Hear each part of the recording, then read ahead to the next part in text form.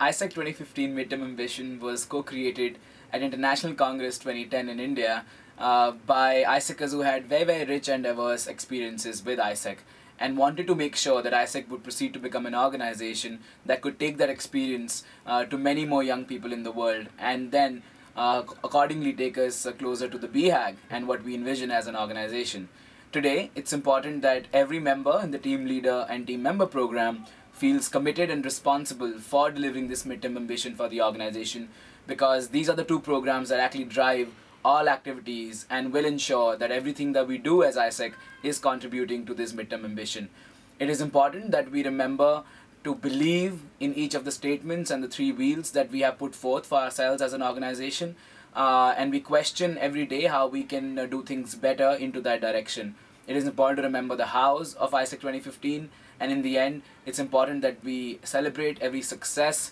in the framework of 2015 and continuously innovate to take the organization forward.